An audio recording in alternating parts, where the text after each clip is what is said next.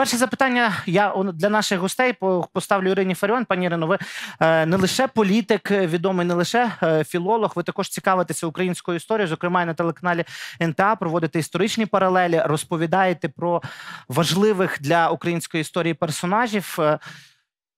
Є у вас якісь в плані історичному контексті відчуття перед 9 е, грудня і зустрічю у нормандському форматі, де вперше з президентом Росії буде говорити Володимир Зеленський, обраний цього року президентом України? Боже, розмова блазня з Лілі Путіним. Цікавий контекст, правда? Це називається Доборолась Україна до самого краю. Гірші ляха свої діти її розпинають, хоч Зеленського дуже складно назвати своїми дітьми. Я би дуже хотіла простежити генеалогію цього блазня, аби зрозуміти, відколи він тут почав пускати коріння в Україні. Отже, я не знаю, то так історично склалося, що ваша передача сьогодні, у день підписання Будапештського меморандуму, так це 25 років відтоді, коли Україна зробила цей катастрофічний для себе крок, і фактично е, стала оцім тим похилим деревом, на яке кози скачуть. У нашій народній пісні співається, а ми тую червону калину піднімемо, бо вона чомусь похилилася. А насправді калина хилиться тоді, коли суспільство хилиться усім своїм миром. Так от українці перше своє похилення голів чинили власне 25 років тому, сьогодні, 5 грудня, коли було підписано цей е, так званий меморандум. І цей меморандум насправді був юридичним актом. Це не просто папірець, який е, підписують десь там у мінську. Насправді цей юридичний акт було визнано за офіційний документ на Генеральній асамблеї е, Організації Об'єднаних Націй у 96-му році.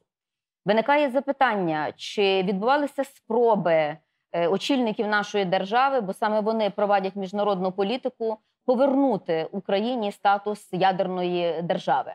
Так відбувалися спроби і не лише на рівні президентській, а на рівні, передусім, депутатського корпусу. І це робили мої побратими.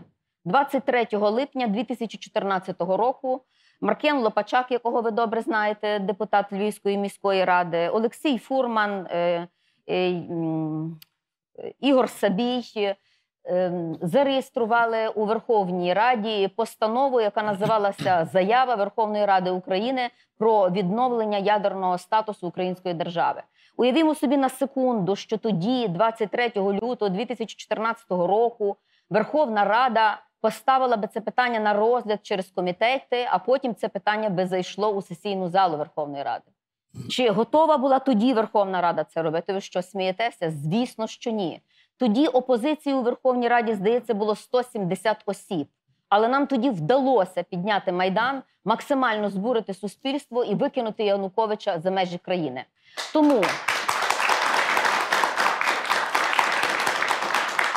Саме на порозі такого самого е, сценарію ми маємо перебувати зараз, і ми знаємо, що створено комітет е, захисту рідної землі. Е, основне зараз питання це власне не допустити в другому читанні закону про відкритий ринок землі. А друге це масовий вихід людей на акції протесту, які мають відбутися у неділю. Тобто, суспільство має показати, що саме український народ є носієм влади, не блазень. Не блазень. Е, нам ми не сприймаємо цієї, так би мовити, контрреволюції від е, зека до зе, бо це насправді е, продовження здачі українських інтересів у найжорсткіший спосіб. Саме тоді вулиця зупинила Януковича у його підписуванні угод із Російською Федерацією, і зараз максимально суспільство має це робити. У чому полягає проблема нашого суспільства? Проблема нашого суспільства полягає в тому, що часом воно мені нагадує бенгальський вогонь, який різко запалився і різко згас. Але побудова української держави це не три місяці відтанцювати на майдані, чи чи 17 днів, чи чи відстояти на майдані три місяці.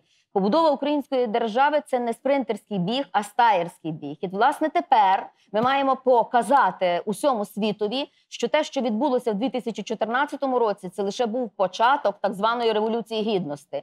Серйозно майдан творили романтики, а плоди цього майдану зібрали негідники.